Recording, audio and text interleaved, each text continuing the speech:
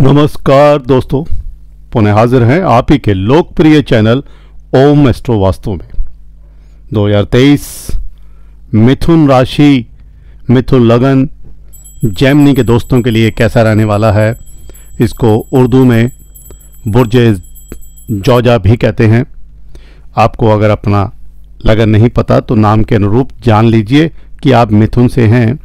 का, की, कू, के, घ, ड, छ, के को, हा, अगर इन अक्षरों से आपका नाम शुरू होता है तो आप मिथुन राशि या लगन के जातक हैं।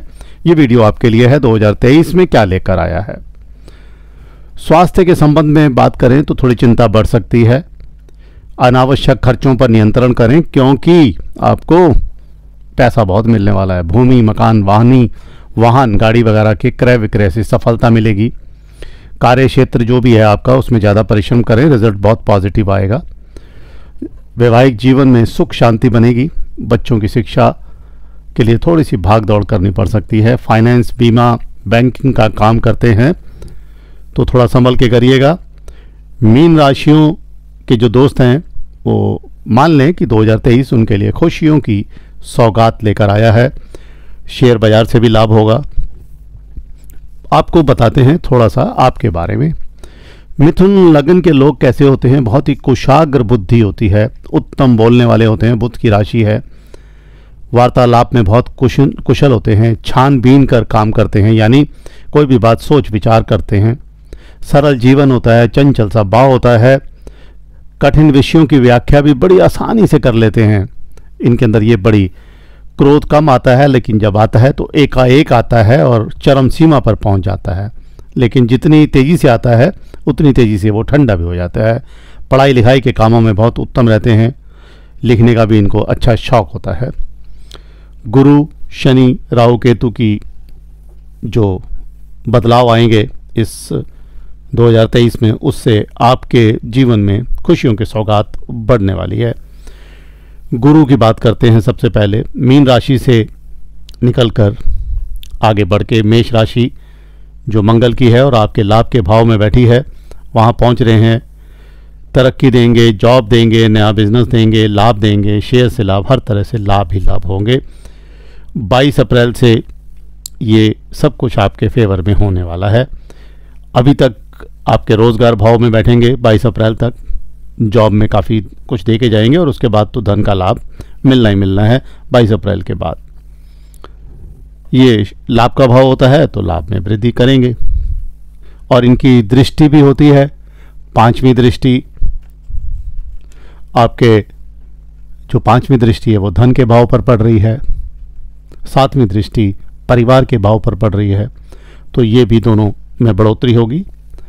घर परिवार में वृद्धि होगी। इसी प्रकार जो ढाई साल तनाव के दिन थे आपके, शनि के कारण, शनि की ढैया, शनि के कारण, वो दूर होने वाले हैं। सत्रह जनवरी से शनि देव आपके अष्टम भाव से निकल रहे हैं और भाग्य भाव में आ रहे हैं। भाग्य भाव में आके स्वास्थ्य, फाइनेंस, कैरियर, परिवार में हर तरह के शुभ फल देंगे। इनकी भी तीन दृष्टियाँ होती हैं। शनि की तीसरी दृष्टि आपके लाभ के भाव पर पड़ रही है। सातवीं दृष्टि आपके पराक्रम के भाव पर पड़ रही है और दसवीं दृष्टि आपके छठे भाव पर पड़ रही है, जिसको हम कंपटीशन का भाव भी बोलते हैं। इन तीनों भावों में बढ़ोतरी करेंगे। राहु जो हैं, अभी आपके लाभ के भाव में बैठे हुए हैं और इसके बाद तीस अक्टूबर को ये निकलने वाले हैं, लाभ के भाव से उल्टे चलते हैं। मीन में आ जाएँगे रोज़गार के भाव में। राजनीति करते हैं, बहुत चमकने वाली हैं। और केतु चौथे भाव में है, वहाँ पे प्रभाव अपना डालेंगे। अब हम बात करते हैं स्वास्थ्य की। स्वास्थ्य की दृष्टि से अगर देखें तो पिछले सालों की तुलना में, क्योंकि छठे भाव पर हमने बताया, आपको दृष्टि पड़ रही है, शनि की, स्वास्थ्य आपका बेटर होने वाला है अच्छा होने वाला है। जो पहले की समस्याएँ थी, बीमारियाँ थी, जिनसे आपको अभी तक परेशानियाँ चल रही थी को रिज़ल्ट नहीं आ रहे थे, वो सब कुछ आपको, आपके फेवर में जाने वाले हैं। आपको अच्छा लाभ मिलने वाला है। स्वास्थ्य आपका उत्तम रहेगा। वित्तीय फाइनेंस फाइनेंस की दृष्टि से भी ये बहुत उत्तम है।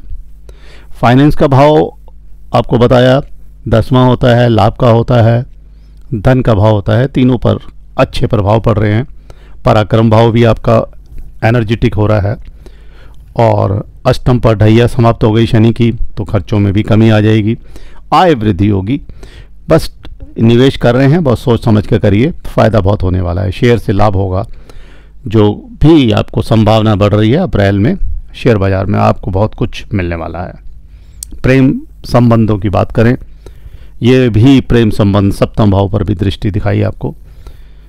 पंचम पर भी दिखाई, रोमांस का भाव होता है। चौथे भाव पर भी दिखाई, ये परिवार का भाव होता है।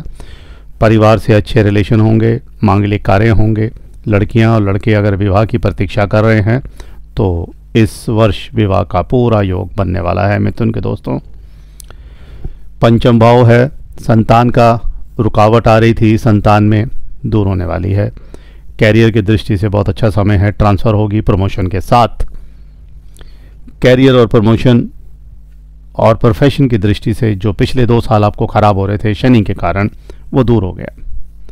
कैरियर में उन्नति, प्रगति, आपकी मनोकामना पूर्ण होगी। नौकरी पेशा लोगों के लिए इंक्रीमेंट अप्रैल के बाद तो बहुत ही अच्छे अवसर मिलने वाले हैं। हो सकता है कोई मैनेजरियल कैडर आपको मिल जाए। व्यापारी वर्ग के लिए भी वो बहुत उत्तम है।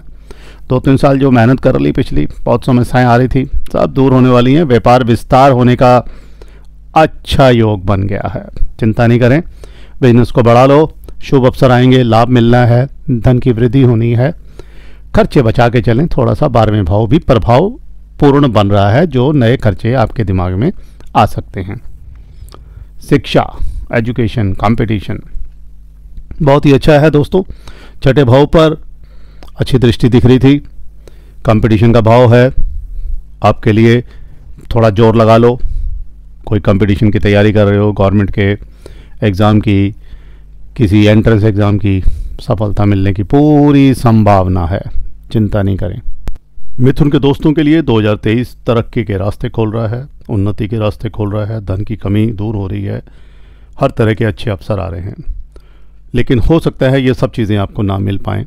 उसका कारण है, लगन पत्रिका के अंदर कुछ ग्रह नीच राशि के होंगे, कुछ ग्रह क्रूर ग्रहों से दृष्टिगत होंगे, कुछ त्रिभाग त्रिक भाव में बैठे होंगे, जिनके कारण आपको ये सब अच्छे फलों की सौगात ना मिल पाए। उसके लिए दो तीन उपाय आपको बता रहा हूँ। मिथुन राशि के लिए नौमुखी और दस मुखी रुद्राक्ष धारण कर लें।